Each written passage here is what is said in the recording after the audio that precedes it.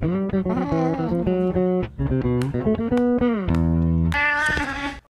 我一直都以为就是这个冬天不会变冷，因为今年太晚开始都没有任何的冷感了哎，没有，不是，啊，不是吗？是因为 对我一直很烦说，为什么今年都没有台风，你知道吗？为什么？我们那个要装修房子嘛，对不对？对啊，所以我们在外面搭了一个那种棚子，啊，用来堆我们就是要暂时放在外面的一些东西。就是打包的那些衣物跟家具。盖了一个临时仓库的感觉。来装那个棚子的时候啊，师傅就跟我们说，哦，这个棚子哦，平常放着都没有关系，稍微有一点风雨还可以，但是如果是台风的话，他就一定要来把那个棚子拆掉，因为那个房子是没有办法承受台风，就会被吹走，嗯超级麻烦。超级麻烦。哦。对可是台风都是说来就来，哎，我们那时候就有点紧张，说台风会来怎么办？但是就如同我刚刚说的，我们那时候太急了，来不及去思考说如果遇到台风怎么办这样子。先把房子清空，台风来再说再。说，我们就先用了，就是因为这样，就是因为这是提供给人天下秀，所以今年都没有台风。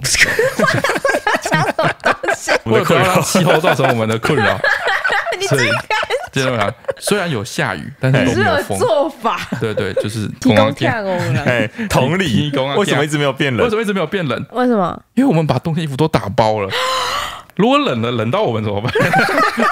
我没有衣服可以穿 呢、很可怜呢、你好意思啊？所以提供感天下秀，这个冬天天气一直都很稳定。我觉得他后来发现不行了，再这样下去就是全球气候大乱。他有暗示你一下，到十二月它会变冷，整个万物都没有办法正常的生长，问题很大条。对啊，所以他有稍微提醒我们，温度每次都稍微降一点点，然后看到我们都没有去买衣服，没有反应，那赶快拉回来。这个礼拜都是晚上比较冷，白天还是很热。哎，对对，就晚上你在被子里面的时候提醒你一下，说，嘿哎，温度稍微调一点点，提醒你一下，给你一个嘿 sign，我就接收到这个 sign。